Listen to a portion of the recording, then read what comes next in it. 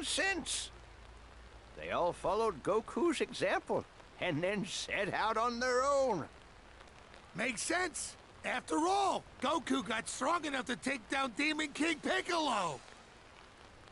I still can't believe that a little runt like Goku somehow ended up saving the whole world. Right? Hey! Uh -huh.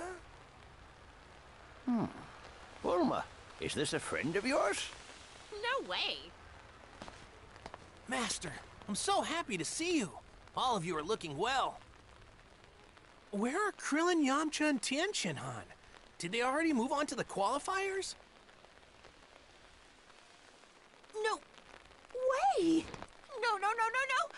This can't be real! Goku! What? Of course it's me. Who else?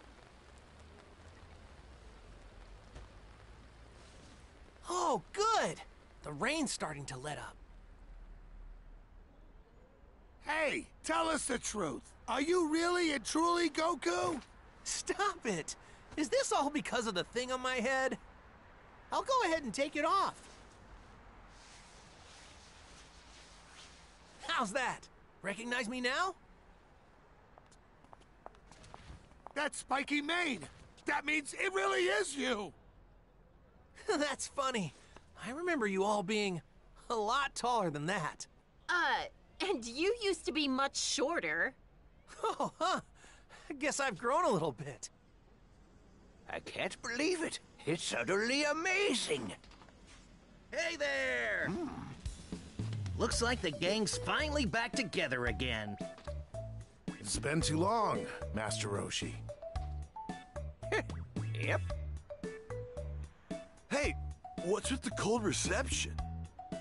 He's just shocked at how much we've all changed. Isn't that right, Master?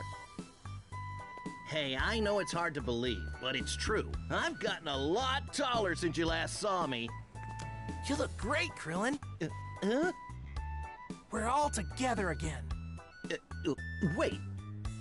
Is is that is that really you, Goku? Yep. Uh, Goku!